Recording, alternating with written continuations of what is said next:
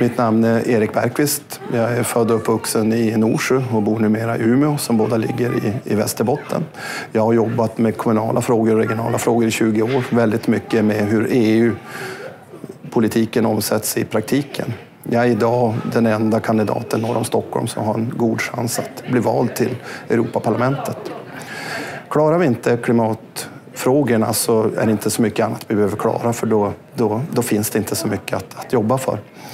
Eh, klimatfrågorna kan inget land klara själv utan här måste vi samarbeta. EU har kommit väldigt långt men vi måste också skärpa klimatlagstiftningen där för att klara Parisavtalet och faktiskt klara av att stoppa klimatförändringen.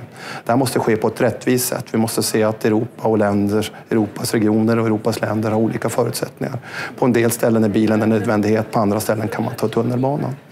Europa behöver mer samarbete för att klara av klimathotet. Utnyttja din rösträtt den 26 maj.